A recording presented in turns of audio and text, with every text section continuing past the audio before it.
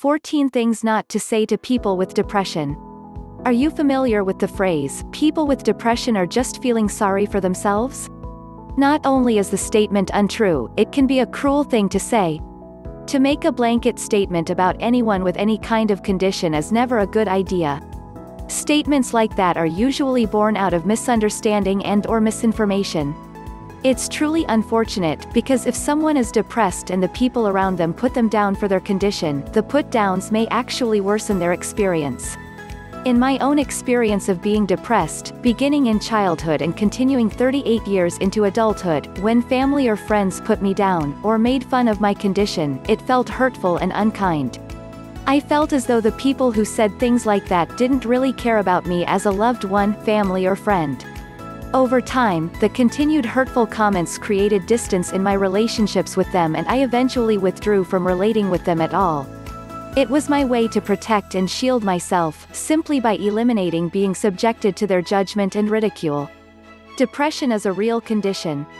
While doctors and therapists may not know the exact originating sources of depression, there are two general causes for the experience of depression, physical or non-physical, emotional and or mental. In any case, someone with depression will need to do and change something about their situation in order to improve and or lift the depression. And lifting depression usually takes a little time, so for the people in their lives, learning how to cope with their loved one's depression can be extremely helpful while on the path of creating a life filled with happiness. Listening is key. The good news is that there are many ways to relate to someone with depression without becoming overwhelmed by their sadness, meaning you don't have to become depressed too in order to relate to them.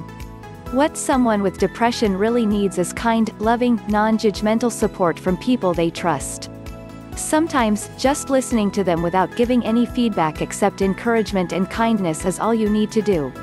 However, if someone with depression opens up and starts to talk to you about their problems, but you're not comfortable with the details they are sharing, then you can sweetly and gently offer to help them find a therapist or trained professional who knows how to help them better than you do. Let them know you're uncomfortable, kindly and gently, not with any harsh comments or ridicule to push them away. Let them know you want the best for them and you'll assist them to get whatever they need and to not be afraid to seek out the right help. What can you do? To support someone in your life with depression, you can start by developing a kind and objective perspective about their situation. Remind yourself that someone with depression is truly a very strong individual to have lived through whatever has brought them to become depressed, and because of that even though they may not understand, they already have all the tools they need within themselves to resolve the depression. They don't need someone to fix them, they just need to change their health and or their way of thinking that has caused the depression. Healing in the presence of love. What someone with depression usually wants from others is to feel connected to loving people who won't hurt them like they've been hurt in their past, don't we all? And most of all, they want to stop hurting, but don't know how, that's why they are stuck in their depression. They don't know what they don't know, by learning how to relate to someone with depression, your relationship with them can remain intact without pushing each other away and even assist them with their recovery.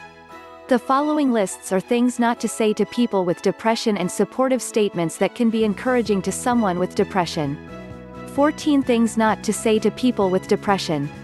Yes, people I loved actually said these things to me.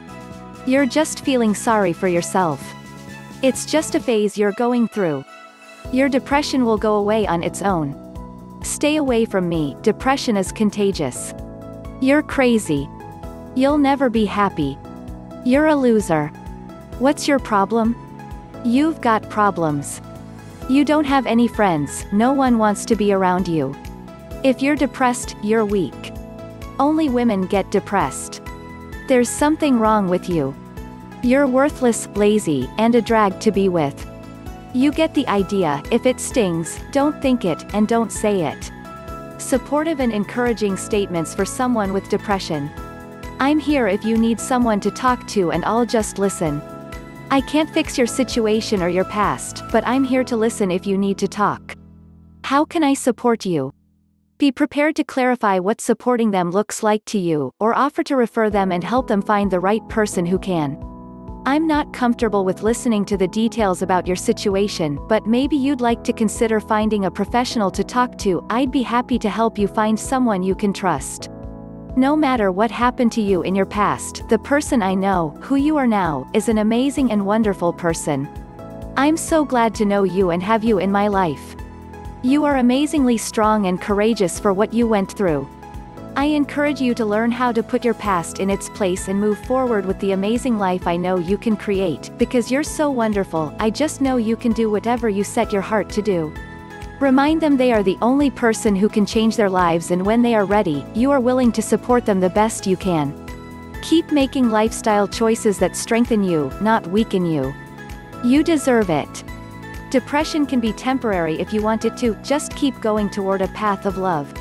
Elizabeth Oberly is the owner of Matrix Energy Healing Center, founder of Golden Heart University, author of Developing Your Intuition, A Journey of the Heart, author of Overcome Depression and Sadness in Three Easy Steps, and president of Excelsius Property LLC.